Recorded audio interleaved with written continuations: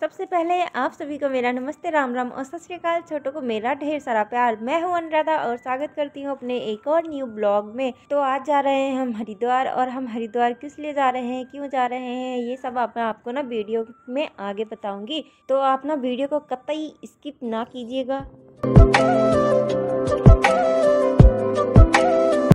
और हरिद्वार जाते समय ना हमें काफ़ी ज़्यादा कावड़ियाँ दिखाई दे रहे थे।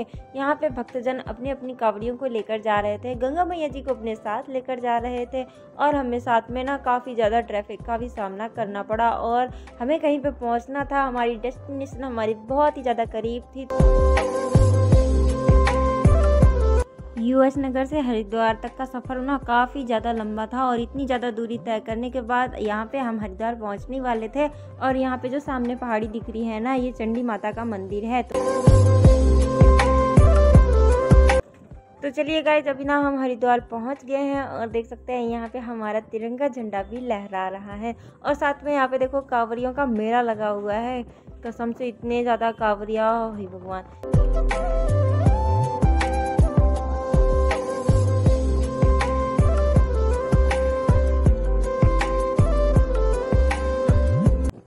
आप सब भी गंगा मैया जी के जल्दी जल्दी से दर्शन कर लीजिए। देख सकते हैं यहाँ पे ना कितना ज़्यादा ही सुंदर नज़ारा है।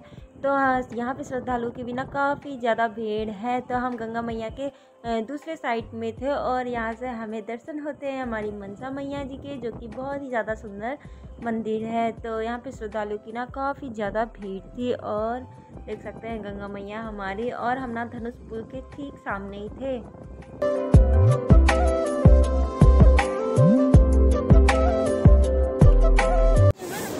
ना ना। जूता यही रहने तो जूते जूते में बार बार पैर लगाऊँगी हाँ।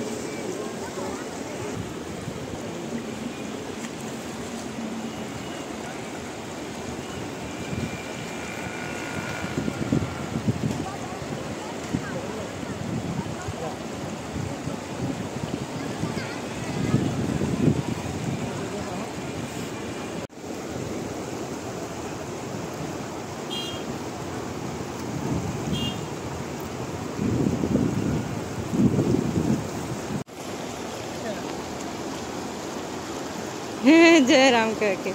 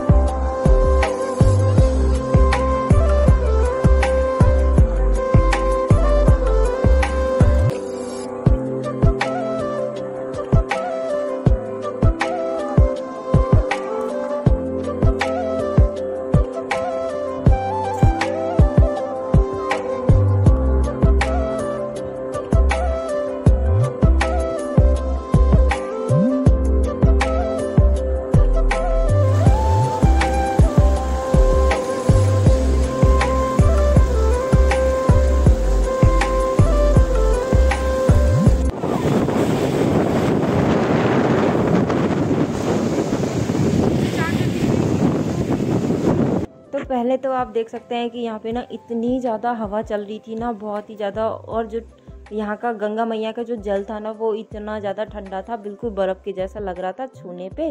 तो गाइज़ मैं फाइनली आपको बता देती हूँ कि हम हरिद्वार क्यों आए थे? हरिद्वार में मेरा एग्ज़ाम था। एग्ज़ाम देने के बाद जैसे ही मेरा एग्ज़ाम ख़त्म हुआ, हम लोग गंगा दर्शन के लिए गंगा घाट पर पहुँच गए थे। तो जैसे कि आप सबको पता है कि अभी ना शिवरात्रि आने वाली है तो यहाँ पे ना कांवरियों की भी काफ़ी ज़्यादा मतलब भीड़ थी, यहाँ कांवरिया वाले भी गंगा जल को लेकर जा रहे थे तो यहाँ पे हम लोगों ने भी गंगा मैया जी से आज्ञा लेकर गंगा जल को अपने साथ में भर लिया। सोचा कि हम भी शिवालय में चढ़ाएँगे। तो एग्ज़ाम देने के बाद तुरंत हमें घर में भी आना था। बाइक से गए हुए थे। हमारे पास ज़्यादा समय नहीं था। नहीं तो हम और भी गंगा दर्शन करते आगे से आगे, पर हमें ज़्यादा टाइम नहीं मिल पाया तो हमें घर भी पहुँचना था और ट्रैफ़िक ना बहुत ही ज़्यादा था। तो कुछ ना इसलिए गए थे हम हरिद्वार। अगर आज की वीडियो आपको अच्छी लगी तो वीडियो में हर हर गंगे ज़रूर लिखना कमेंट में। तो आज का ब्लॉग आपको कैसा लगा? ब्लॉग अच्छा लगा तो एक लाइक और चैनल सब्सक्राइब ज़रूर करना। मैं अनुराधा मिलती हूँ किसी न्यू वीडियो में, किसी नए ब्लॉग के साथ। तब तक के लिए आप स्वस्थ रहिए, मस्त रहिए और अपने अपने कामों में व्यस्त रहिए। Bye bye